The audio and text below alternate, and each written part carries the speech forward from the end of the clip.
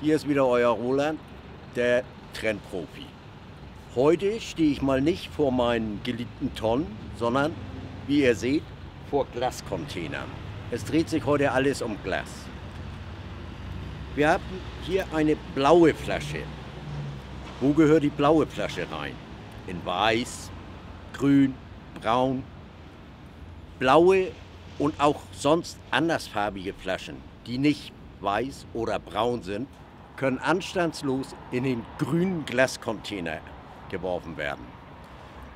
Was natürlich nicht da reingehört, was ein freundlicher Mitbürger hier gemacht hat, das sind solche Sachen. Also nur Glas, getrennt nach weiß, braun, grün.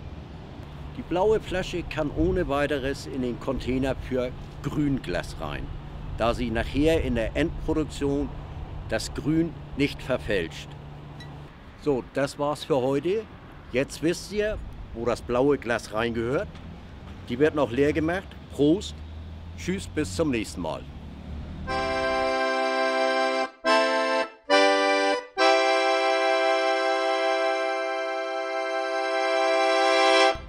Erstmal einen Öffner.